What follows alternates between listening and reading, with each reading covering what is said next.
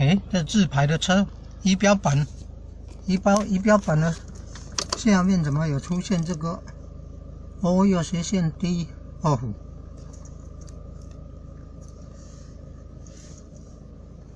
啊，查那个网络哦，知道那个是爬坡用的呢，爬坡用的哦。位置是在这个哦，位置是在这个这个这个按钮，这个按钮，自拍车，自拍车这个推 挡，推挡 的这个按钮，你看按下去了，你按按下去了，就没有那个灯了。啊，现在要要再按一次哦，灯就会亮。来看，因为已经把它按一下了，按一下灯就亮了。现在又要把它按，哦，灯就消失了。哦，原来那个就是跟这个跟这个有关系呀。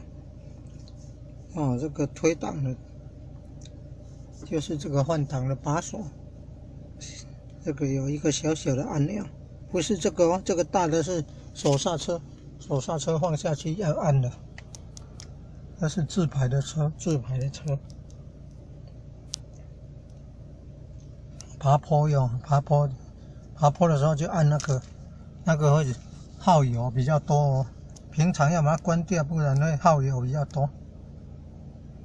哦，自排车啊，自排车通常这个要换挡要。先踩踩刹车，停下来以后再换，再按。比如说要倒退，要按按那个 R 啦。然后行进中通常都是用那个 D 啦，D 啦。爬依照爬山，爬山用二或者是 L 了。但是哦，爬山呢，你踩刹车停下来，可能就要向下滑了嘛。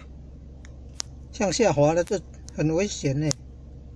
所以不能不能哈这个。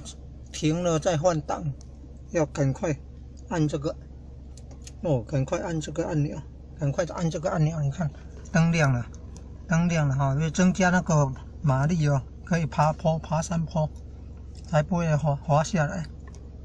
但是哦，平常平平地啊，开车的话要关掉，不然会耗油比较多，耗油。